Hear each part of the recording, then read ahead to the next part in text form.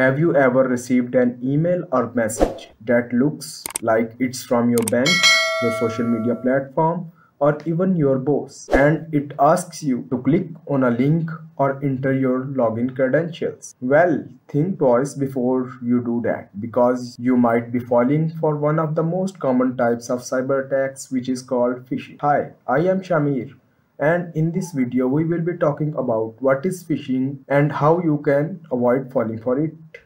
The word phishing comes from the word fishing because it's a lot like fishing. Phishing is a type of cyber attacks where attackers try to attract you into giving them your personal information like your login credentials, credit card details, or even your social security number. Attackers do this by sending you an email, message, or even a phone call that looks like it's from a verified source, such as your bank or a social media platform.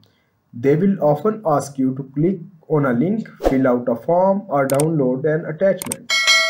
The link will take you to a fake website that looks exactly like the real one and ask you to enter your login credentials. Once you do, the attackers will have your username and password and can use it to access your account and steal your personal information. So, how can you protect yourself from phishing attack? First, always make sure you are on a verified website before entering your personal information. Look for the lock icon in the address bar and check that the website address starts with HTTPS. Second, be careful when clicking on links or downloading attachments in email or messages.